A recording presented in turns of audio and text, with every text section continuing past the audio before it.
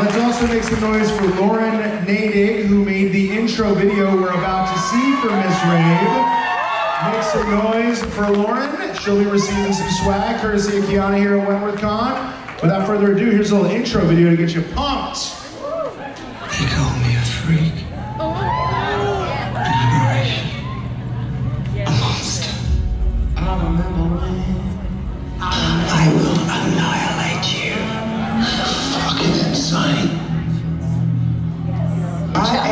Scare the shit out of everyone, Mr. Fletcher. You should be very careful how you speak to me, Mr. Fletcher. You laughed at me. I will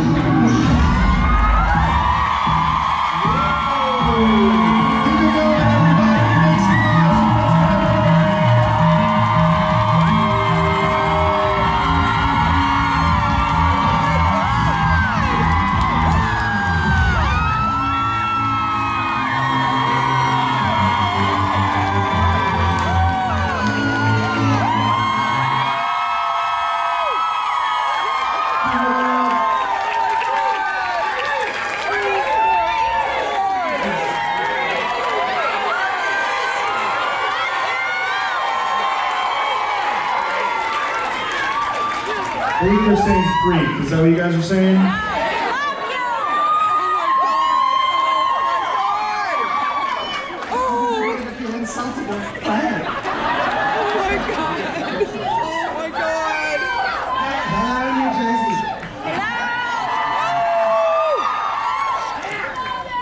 We love you! Love you, Pamela!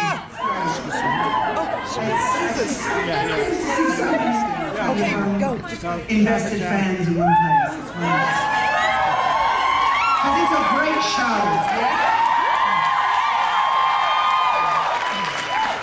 Are you guys cognizant of how big this show is here in the United States?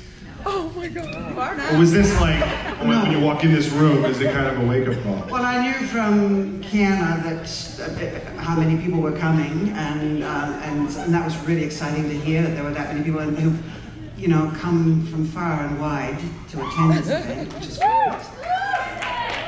For you! Also, I mean, you know, that we've um, we- we've been aware from the correspondence that we get, but also from the people who come and travel to see our work in other, you know, circumstances in in Australia, around the world, that we know that this show's got a far reach. So that there are a lot of people who touches that Well, thank you for coming to see us today. I think I speak for everybody.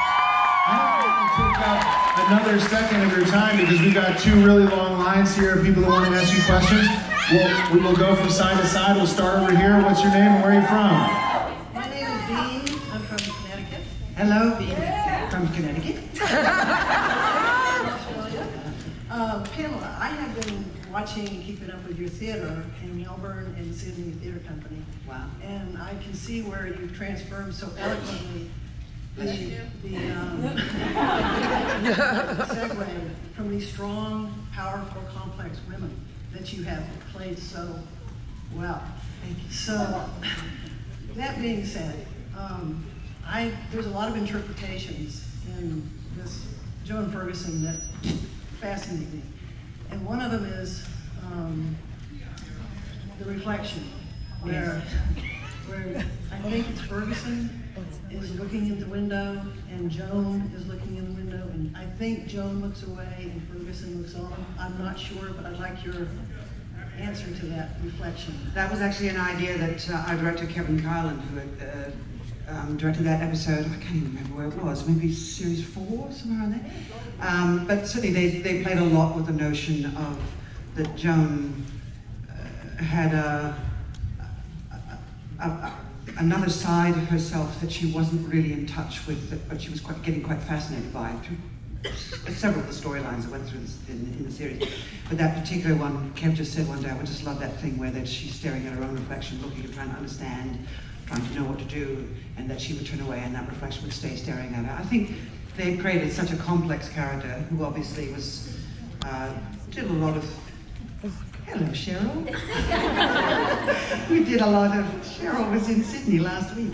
Um, um, that uh, that uh, she, although she was capable of some pretty um, extraordinary, monstrous things, um, that there was a complexity that sat underneath her, that she wasn't all bad. You know, she wasn't just a mustache twirling villain. She had nuanced uh, qualities, and perhaps that there was a there was a something deep and um, that she disconnected from that also had potential for good, and that she was fascinated by it. So she was constantly examining herself. Thank you. Over here, first question on the left. Thanks for that. Hi. Hi. I love you. um, my name is Garce. I'm from Hammond, Indiana. And Darce or Garce? Garce with the G. Hi, Garce. Oh, you said my name. I'm part of your fabulous red right hand. Red right hand.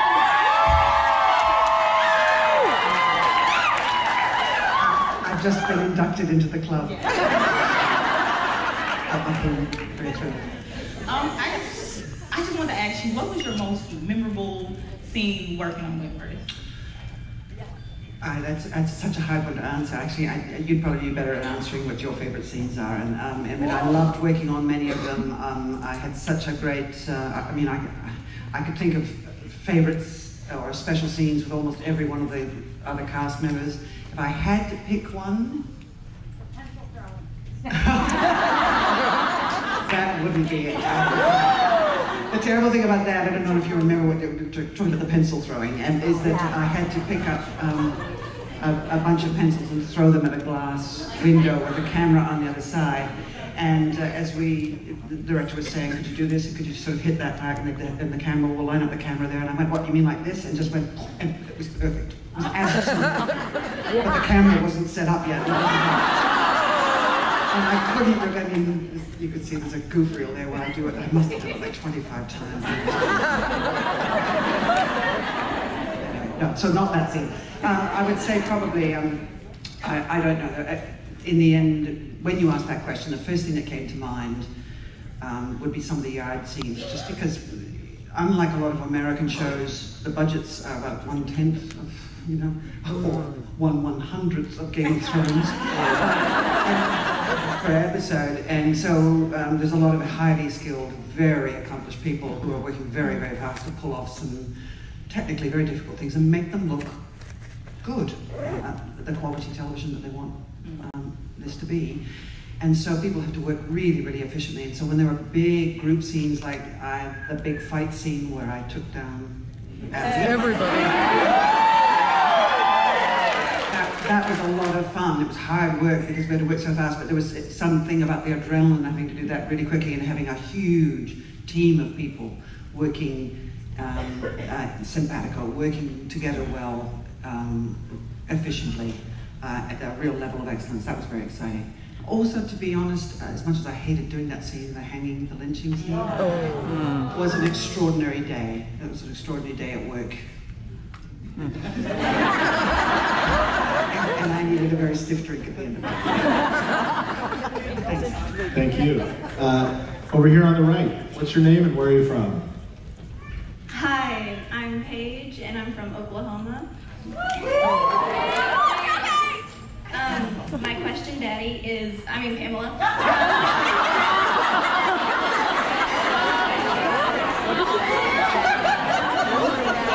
my question oh, is, do you ship freaky tits. Okay,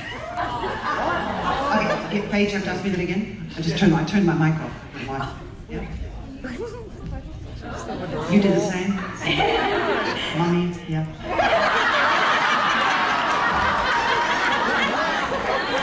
Do you ship freaky tits? Do I ship freaky tits? Hell yes.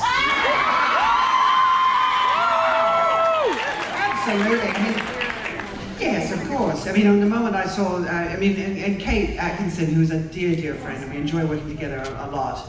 Um, at the moment we read that scene that, the, that they put Joan Ferguson and Vera Bennett together having that drink after work, and we knew that, um, and that first day we worked together, we knew that there was a, going to be a kind of complex, nuanced relationship between those two women that um, particularly Joan wasn't really in touch with, but that was there, and, and, they, and certainly the writers saw it and knew that there was something to work with there. But um, I think they're a great couple.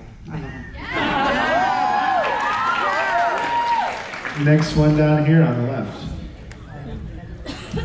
Hi, my name is Sierra. I'm from Maryland. I drove here. Hello, Sierra from Maryland. Hi. Congratulations on the drive. I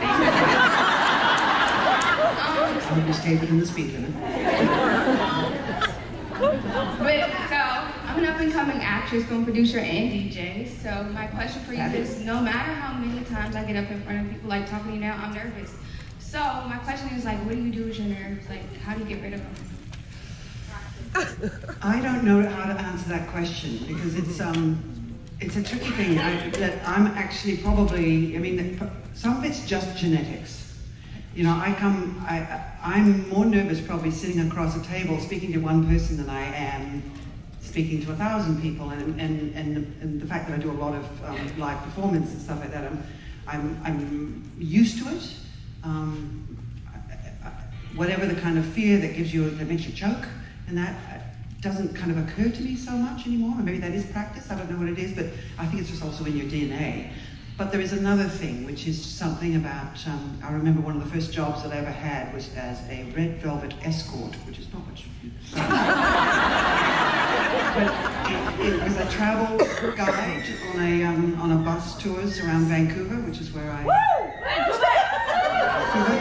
where I um, spent most of my kind of teenage years. And I was a terrible red velvet escort until two weeks before I finished the job, I got accepted into acting school. I was 19 years old. And, uh, and the last two weeks of the job, I suddenly got much better. And there were two things that I think I realized. One was that um, I didn't need it. And so I, you know, it's about knowing what you want and what's important to you, but at the same time not letting that become so important that you don't keep the, the important things in life at, at, at the kind of at, at the pinnacle of your desires, uh, so that you can be free just to be you. But the other part of it too was that I realized that there was a kind of a character that a red velvet escort was, and once I knew who that character was, I didn't feel so exposed. And maybe that's a kind of complex psychology behind why people become actors and performers. I don't think I'm hiding behind it or anything, but I find a release through the character that does those things. So it's finding your DJ, producer, writer, and going, this is who I am, and I'm born to do this thing. And then suddenly, as long as you keep breathing, it just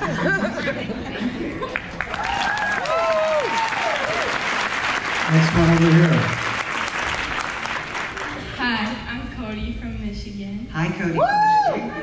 And um, one of my favorite battles, it's super underrated, but was one between Freak and Bridget Russell.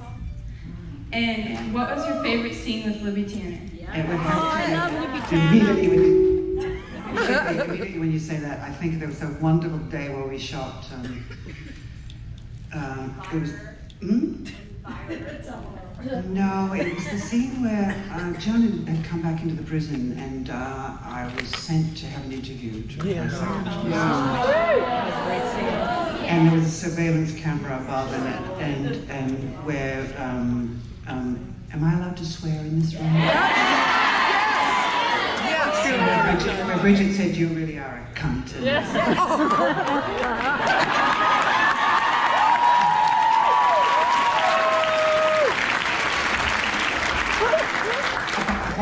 apologies for the offense.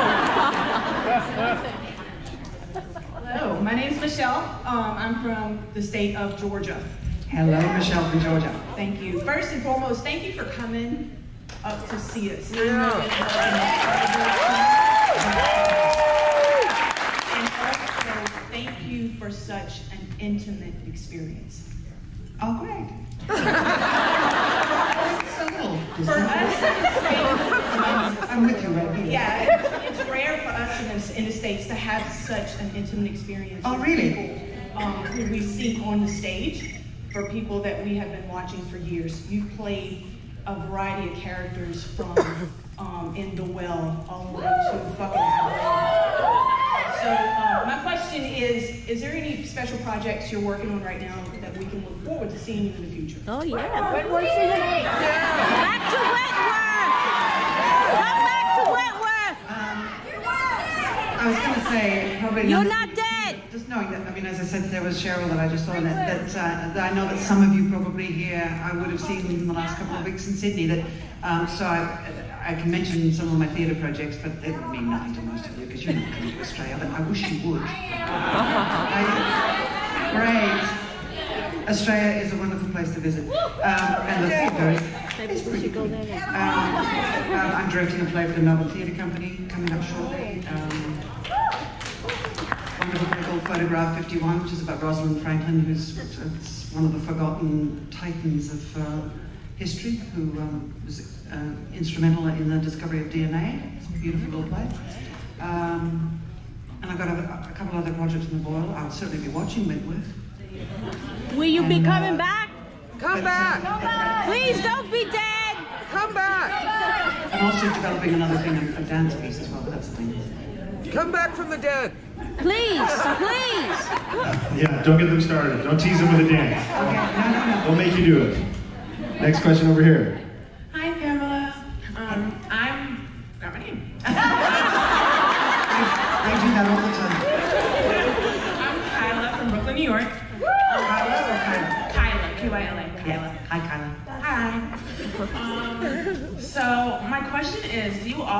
Find that people are like completely terrified of you because of the role you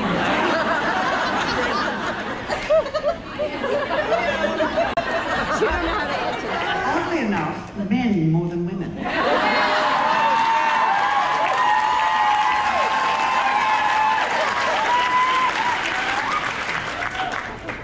Uh, not too much. It, there's been sometimes, but I, I would hope to think that once they've had about 10 seconds of interaction, they're okay and realize that I'm, I'm not going to do anything to them.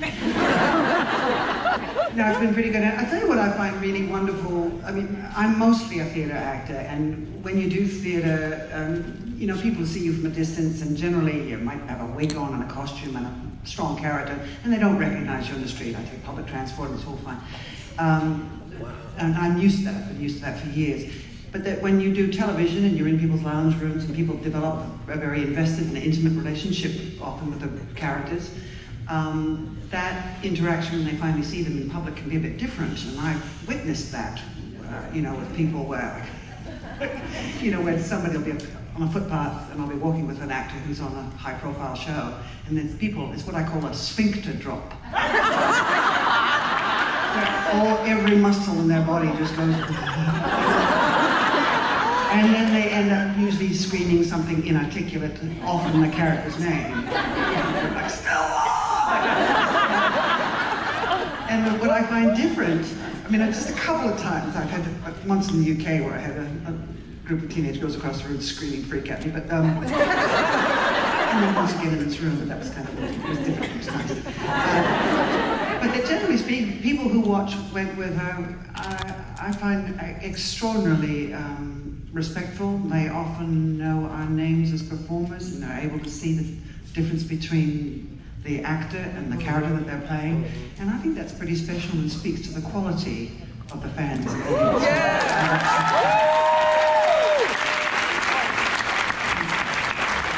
Thank you. Next question over here.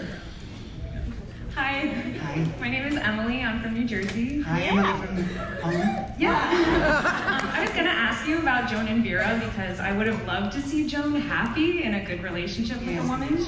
I feel like she would have been, I don't know, able to live a relatively normal life if that had happened. But anyway, I'll ask you a different question. Going along the theater uh, question route. Um, I know that you've never done a Broadway show over here, so I'm wondering what show would it be that would bring you here? Oh, I have no idea. If I knew, I'd be writing a letter to somebody. But um, uh, thank you. Oh, yes, I would love to go back. I, I've also played in Australia a number of times. I've played the um, Wicked Witch of the West. And, uh, I've enjoyed that a lot, and I feel I could probably do that until I mm, drop too. So, you know, but um, uh, yeah, that'd be great. And there'd be a nice sort of synchronicity or whatever. Not synchronicity, that's the wrong word, but sort of symmetry to the fact that in Australia, uh, Maggie Kirkpatrick, who played the original Joan Ferguson, was a very memorable and memorable. This one over here. Hi, my name's Mia. I'm from Philly, Pennsylvania. Yeah! Um, would you be able to survive in a woman's prison yourself? Well, I mean, there's, there's so many hypotheticals in there because I mean, I'm assuming that if I did something that would get me into a woman's prison, I, I might be a slightly different person with a different set of life skills. Um, but um, uh, I mean, it's one of the privileges and the challenges of performing in a show like this that we, you know, and, and because there's a real um, uh, attempt to capture the, the kind of stakes and the realities of what it might be like to be in a woman's prison within a dramatic fictional context.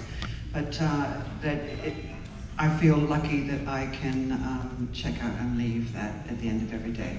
You know, I just can't imagine what the circumstances would be. You know, and, and also, I mean, that, it's one of the major themes of the show that I remember that Kevin Carlin phoned me when I was approached uh, and asked if I was interested in playing Joan Ferguson. And he was telling me what he felt the show was about. And he said one of the main themes in it is that, um, you know, nobody leaves that system unscathed. I mean, the cost on everyone, whatever side of the bars they're on, is huge. And that's actually a major kind of theme for the show that continues uh, even now as they're just about to launch into shooting season eight.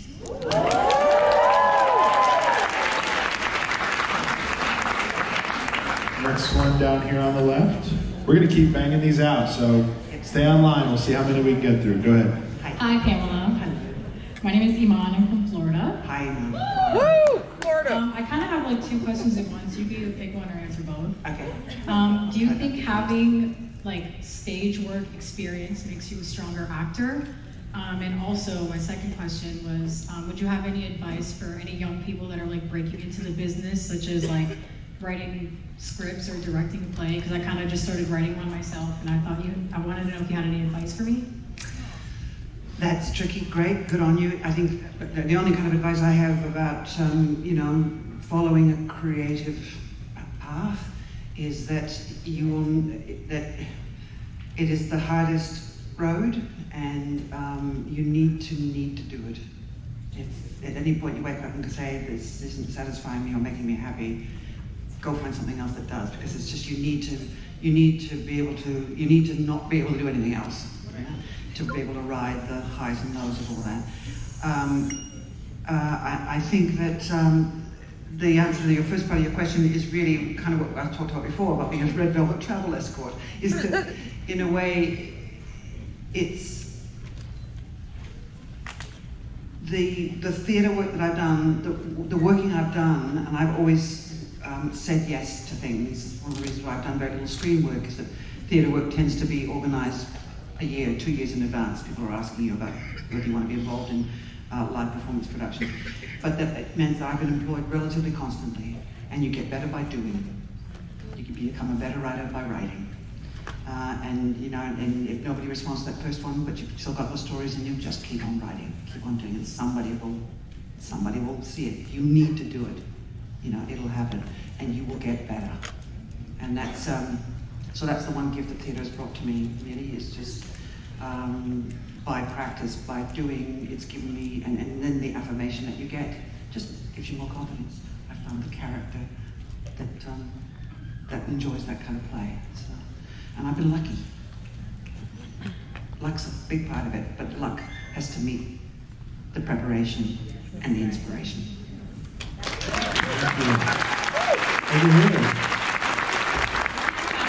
Hello. I'm Charlotte, and I came all the way from England. Wow. I've never so many. Um, my question was, how much of a say did you have in some of Joan's backstory? Because obviously some of it was different from the Prisoner series. I was wondering, did you have much of a say with that, or was that purely the writers? Um, uh, not really backstory. That's all producers and writers that control that sort of stuff. I might occasionally make comments on things that I got excited by, and then they would develop those things. Mean, um, uh, like there was just one little tiny moment in the very first scripts that I was given in the, in the beginning of season two, where Joan um, washed her hands with a bit of uh, antibacterial thing, and I, I kind of well, I suppose Joan's OCD met my OCD. and, and um, I went, oh, this is great, that's fabulous. And, and uh, I mean, and they also noted that not only the stuff with the antibacterial soap is that even me as an actor, when I was playing the governor, and I would sit at that desk and would often shoot all the governor's scenes on one day, just bang them up one after another.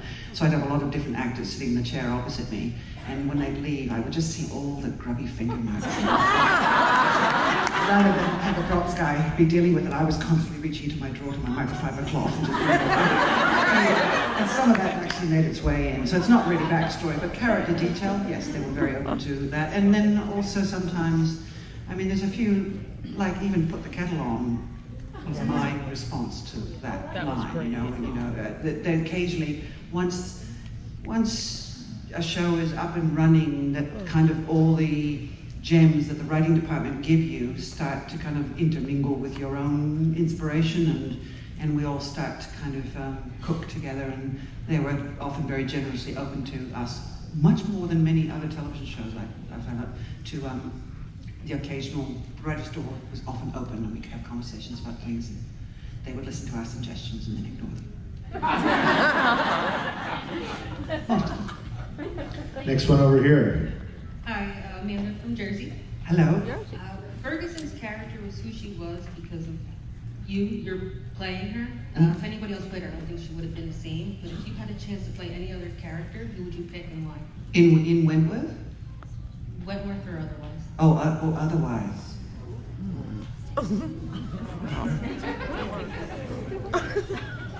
I, I want to be, um, I want to be Villanelle's aunt. I, I'm not even going to kill you. I mean, I just think Jodie Comer is extraordinary. Thank you. Oh. Thank you. Uh, next one over here, we're trying to get to two more on each side if we can, if we can make them quick. So, over here. Hello, everyone. My name is Michelle, and I'm from North Carolina. I saw an interview with you where you stood up. You said you stood up in front of the whole cast at like your first table reading and apologized to everyone for what your character was going to have to do to them later. so my question is, how did you feel when Ferguson had to kill Queen Bee?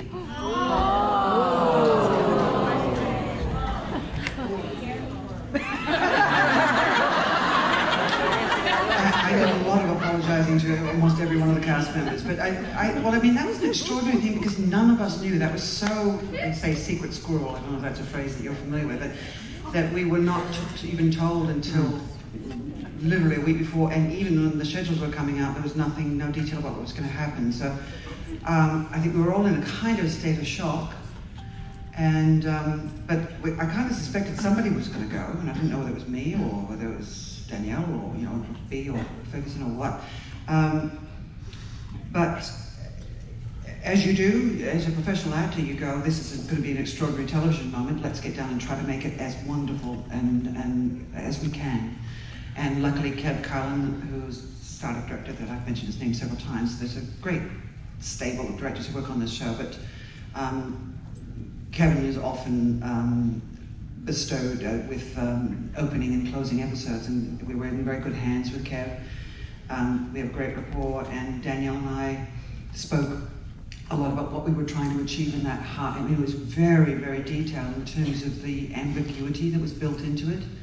You know, was it Bea Smith who was driving that thing in order to frame Ferguson? Was Ferguson's own nature being tapped and something was triggered in her that she could not control?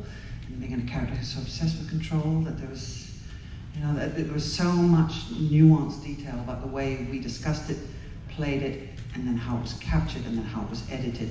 So there was a lot of conversation around it. Um, uh, I, I, but it, it was the job that we were asked to do, and I hope we did it okay.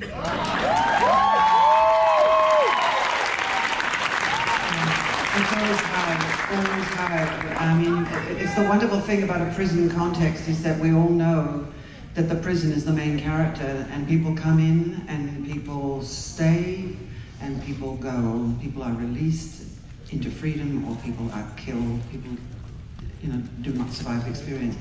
And so any of And buried alive? any of those possibilities are on the table when you say yes to that job. So. Over here. Hi, Pamela. My name name's Marlena from New Jersey. Hi, Yes. My question is, like, first of all, you are got to be the most badass villain. Yes.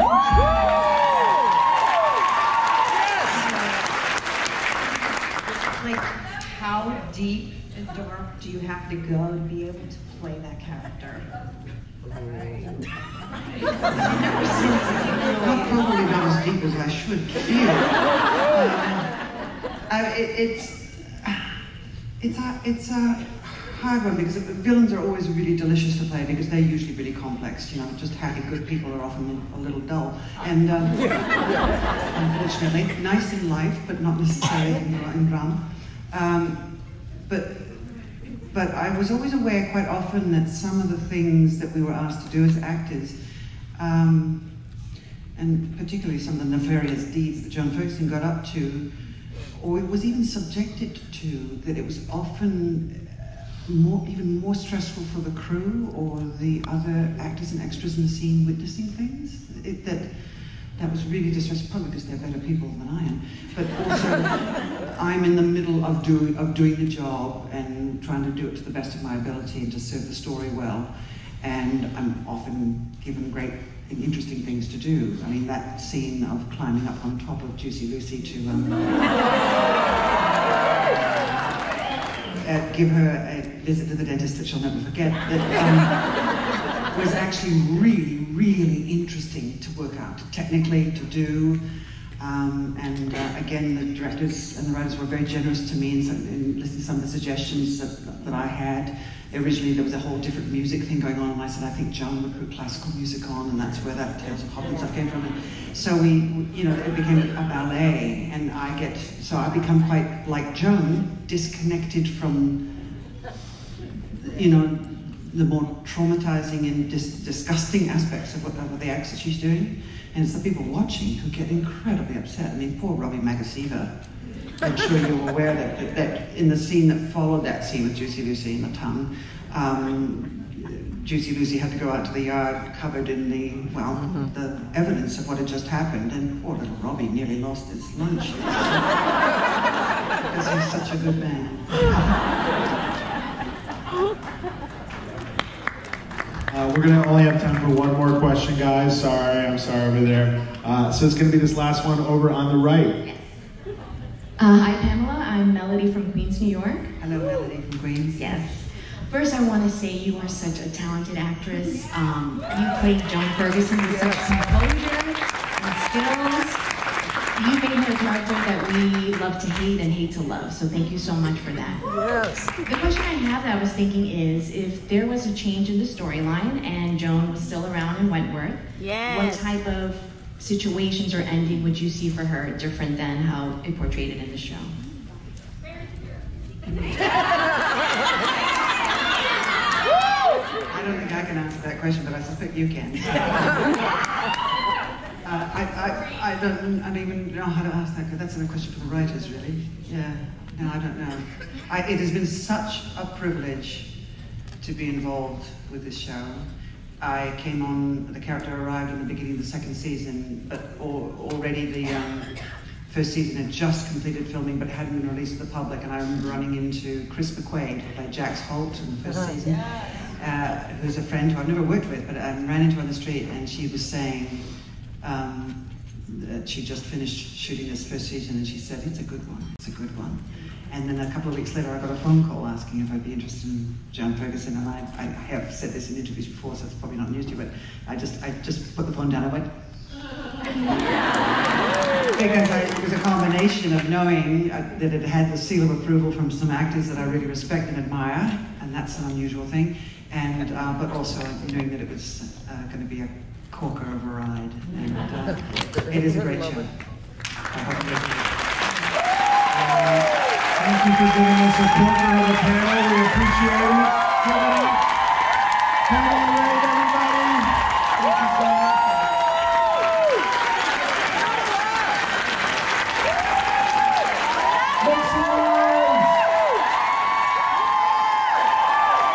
If you guys can stay in your seats, we're gonna get Pamela to her photo op, and then you guys can meet her, take your photos over there.